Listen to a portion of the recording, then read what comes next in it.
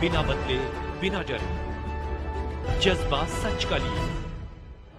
सच दिखाते हैं।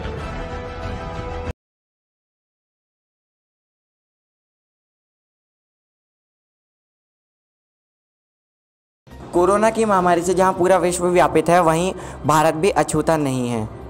भारत में इस महामारी ने अपने पाँव जमा लिए हैं। इस महामारी में जहाँ आम जन स्तर है, वहीं पशु पक्षी भी इस, इससे अछूते नहीं हैं। उत्तराखंड योगी सेना जनित कार्यों में सदैव ही तत्पर आगरणीय रही है।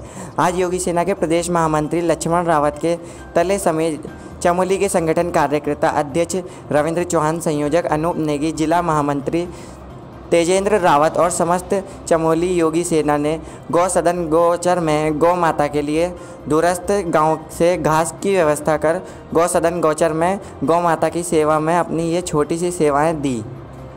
योगी सेना जहाँ हर ज़रूरतमंदों को हर संभव आवश्यकताओं की पूर्ति कर रही है, वहीं हर ज़रूरतमंद तक अपनी सेवाएँ पहुँचा रही है। इस महामारी में सदैव आगरणीय योगी सेना के प्रदेश महामंत्री लक्ष्मण रावत अपने तन मन धन से जनहित सेवाएँ दे रहे हैं।